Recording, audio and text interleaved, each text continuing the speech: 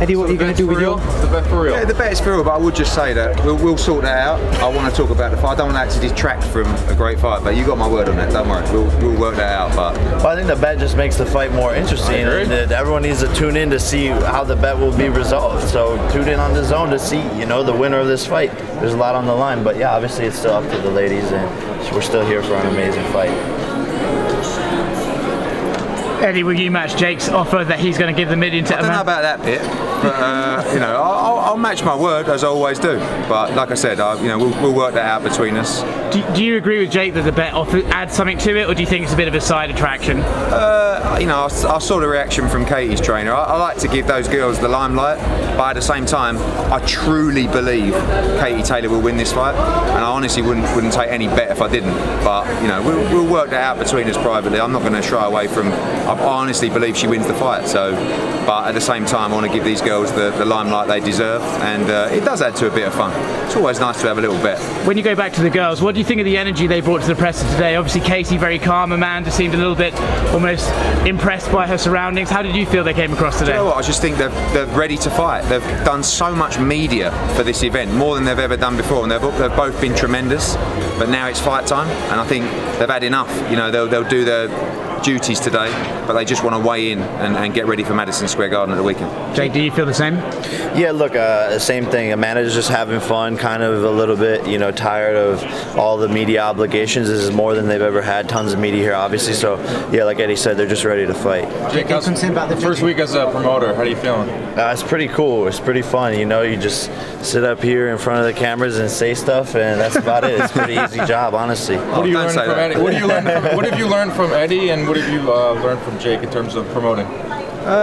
It's all about the platform, really. Jake's, I've got a big platform as a promoter, but Jake's got a much bigger platform, and obviously we want to use that platform to bring in his audience to fights like this. So I think the one thing I've taken from it is it doesn't have to be that difficult in boxing. Like we don't have to like each other. I quite like him, but it doesn't matter. We're both working together for the same mission, which is to provide opportunities for our fighters and make this event as big as possible. And it doesn't have to be like it is in boxing, but there's so much bitterness in boxing. There is. This is this is quite fresh. Eddie, could you tell Jake why Katie's going to win, please? I think you saw it up there. I think Amanda Serrano is going to be overruled with the occasion. I think she's going to be outclassed. I think actually she's going to get stopped in the fight.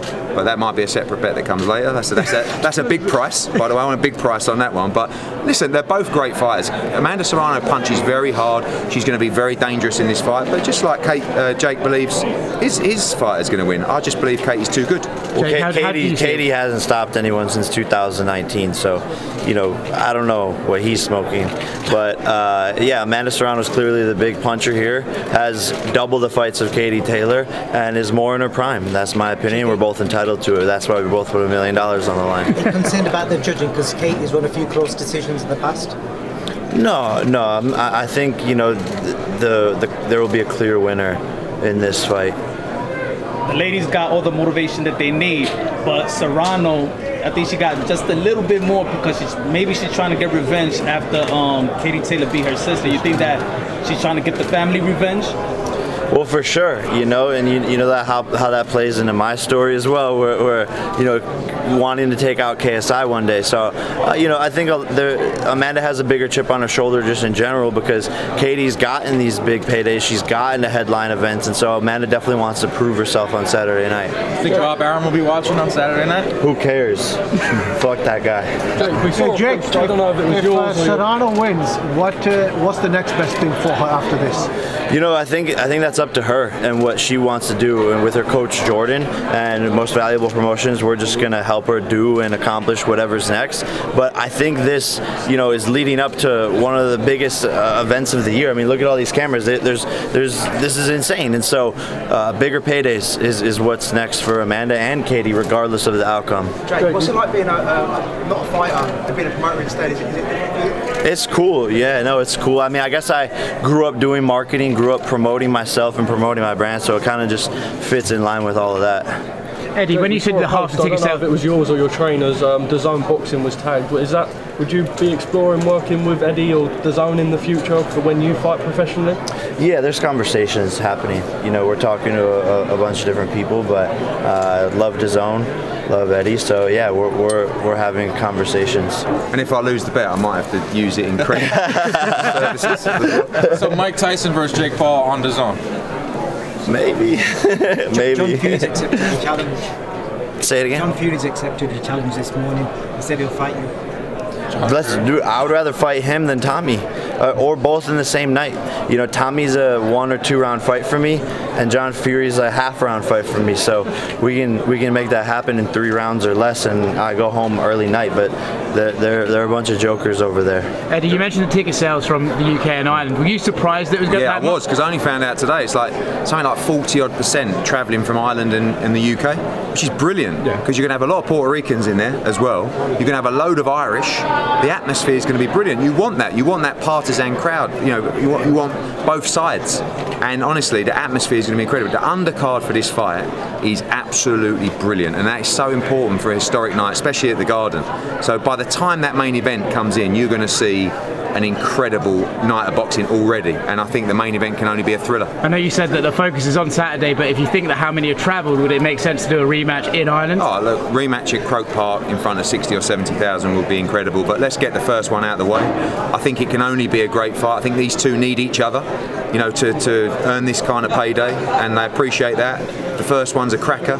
Maybe we'll talk and, and do two or three. Eddie, is there a reason you were a little bit hesitant to shake Jake's hand up on stage after the bet was uh, well, he tried to Yeah, he's, he's got a lot more money than me. You know, um, not really. I was like, I, you know, I, I don't like to take away from the limelight, but at the same time, he sort of tested my ego a little bit. So I was like, I didn't really want to do the bet, but then I was kind of had to. And It then started off at half a million. You half a million. which- Well, you're the no, but firstly- you're the, you're the one that made it a million. Okay, can we go back to half a million? But, but like, you know, he was talking about his jewellery, I had a bit of banter, and then it got a bit out of control. But it is what it is now. I can't back down. So Eddie said it was a 10 round. what's that? Yeah, that was that was I don't you know, disrespectful. Know. That was it was good though. It was good. Mine, mine's a little bit more low key than his. But what is this? jewelry and the uh, other half in the Yeah, cash. yeah. Paddock, nice. Jake, how, how are you going to give pay him if if if uh, uh, if, if his fighter wins half a million in jewelry and half in cash? I'll just send a wire. so the jewelry, you're holding on to the jewelry. Yeah, why not? You know, we'll, we'll figure it out. Jake, what do you think about McGregor's weight gain and his uh, what's about fighting? Couldn't care less. Couldn't care less about him, man. I don't, I don't know. He's he's uh, he's a loser. During the Bisping rumors, there was talk about it actually being staged in Canada. What are your thoughts on maybe having a fight, not in Edmonton, of course, but maybe on like a big stage like a Scotiabank Arena? Well, first of all, he couldn't prove that he was out of his UFC contract, uh, which means he's not. Uh, and and that's how a lot of these fighters are. They finish their career retired with two or three fights left under their UFC contract, so probably wouldn't even be able to make that fight happen. And uh, he didn't do what he needed to do to prove to make that fight happen. What about in a general scheme, though, fighting in Canada? Is that something that you'd be interested in? Yeah, look, I, I like Canada. Can, Canada's cool, you know. Canada's a vibe. Jake, is uh, KSI still possible or not? Nah, he's got to go fight somebody. I don't, no, not not really a thing. Eddie, um, we have Joshua versus Usyk coming up, Canelo versus Bivol, Canelo wins, and we have Canelo versus Triple G. But do you believe that Katie Taylor versus Amanda Serrano is the biggest fight in the world? in different reasons. You know, some fights generate more money. Uh, some fights can sell more tickets, but this is groundbreaking. Like I've not seen this kind of attention, this kind of type of media here for this. So when you talk about how big, what determines how big? And for me, how big is something that creates history and a legacy. And in terms of this fight, I don't think there's a fight that I've done that will be remembered as long as this one. Jake, you mentioned you, you mentioned about the women needing to show up and show support. That was something that's very famously happened at Ronda Rousey fights. Do you think we'll see a lot of women in attendance on Saturday or watching at home? For sure, you know, and I even see it with my fans. I see what they're saying, and I have a lot of female audience, and they're all buzzing about this more so than the men's fights. Um, and they're they're coming to support in person and buying the pay-per-view. So it's really good to see that. My mom's, you know, flown out here and is more excited than even almost my fight. She loves Amanda, um, so it's really cool to, to see the support that this is getting. And yeah, like I said, I, the, the women need to support each other on this because this is going to be a big step forward for women's sport in general. Hey, Jake, um, I've, I've got a chance to cover a lot of your fights, and you're always like really excited, but you seem even more excited about this fight. Um, do you kind of see yourself just saying, you know, forget boxing, just doing promoter, you know, sometime soon? Uh, no, I still I still have a long way to go, a long road in my own boxing career, a lot to prove. He says I can't become a world champion, and I'm gonna become a world champion. So a couple fights, you know, seven, eight more fights left. But yeah, I, I'm more excited for this than my own fights because of how groundbreaking this is, how historic this is, um, and, and it's my first time as a promoter, so it's a new experience and it's pretty fun. Eddie, your reaction to Jake saying he will become a world champion? Everyone's entitled to have a dream. no, seriously, I'm being serious. I think there's absolutely no way he can he can beat a world champion and become world champion. But I will say he's improving a lot. He's dedicated to the sport. I don't know how good he is because he hasn't really faced a real fighter yet. It's not his fault. He signed to fight Tommy Fury. Well, a, Tommy a five-time world champion in Tyron Woodley is a real Mate, fighter. he's not. He's not a real boxer. He's not Jake. Well, I mean, the, the first skill in MMA is uh, boxing. Jake- he Jake, he, can't- won the UFC Jake, championship Jake, with a right Jake, hand. He's a great UFC But you, do you consider Tommy Fury a real boxer? Yes, but I'm not not in terms of So- ability. But but listen, but Tyron So what Woodley- defines a real boxer? A real boxer is someone that there's that these is his journeymen craft. like that- uh, Andy no. Bishop who have. Who's Andy Bishop? Exactly, but he's a real boxer, right? Yeah, but then, but because anyone can Okay. go and get a professional. Okay, but what I'm saying is, Usman does not qualify to give you any right to talk about you fighting for a world title, and nor does Tommy Fury actually. But I'll give you the props, I'll give you the respect. You're improving all the time, but the proof will be in the pudding. I don't, I don't believe. By the way, I've said that I think Jake Paul is better than some fighters, but. I don't believe you will ever get close to being a world-class fighter. I believe that I would beat anybody on your roster that's under 10 fights. Anyone. We can do that. Any one of any one of your fighters that has under How 10 about fights. Canelo? Easy. Okay. Uh, so At cruiserweight? A cruiserweight? any, I've got- I've any got- weight. I've Any- no, any, literally any weight. Okay, so any any weight. any weight, Any anyone weight, under ten. any and weight. I- I will- I will about- beat about- anybody on your I've got- I've got about 400 of them. Great, Yeah. great. Let's run it up. Chef, Chef No, Clark. pro- no problem. Chef give me, Clark. give me your best Okay. real boxer. Okay, Chef give, Clark. Give me your listen, best okay. real boxer. Cheavon Clarke, one and zero, right? Boxed in the Olympics, didn't medal. One and zero, just had one professional fight. He's a cruiserweight. You can have him, and I tell you what, I'll even provide him. Well, actually, let me be careful. on the price. I don't know. Uh, no, but, but I'm saying, I've got, I've got, I've got Let's five. do it. yeah, let's do okay, it. No problem. okay. I, I already said I'm, I'm down. We're betting a million dollars. I'm taking on anyone on your roster with under 10 fights. No Okay. problem. And that's right now too. Just wait to just, Anytime. just give me a couple of years, bro. Ooh, I'm coming for I your boy you do. Canelo. Yeah? I'm coming for your boy Canelo. That's on God. He'd- yeah, look, I don't think he minds that fight. You know. He didn't say no. No, no. Canelo didn't say no to a fight with him. Well, why would he not? That's yeah. the big. That's one of the biggest fights in boxing that can be made. Payday.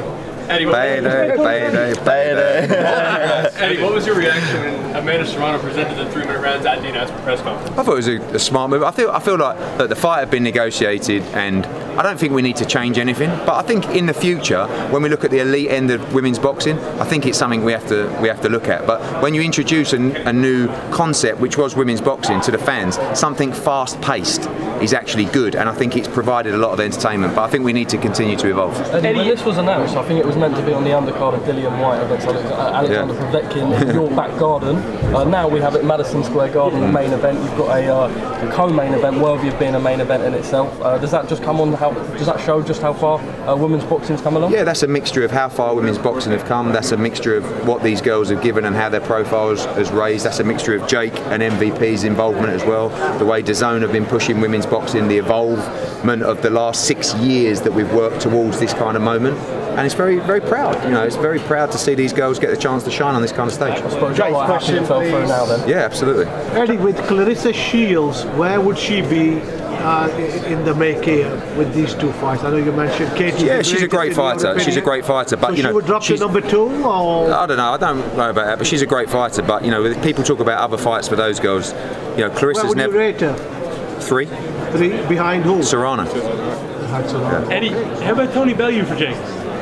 Cool. no, no, that's a massive fight.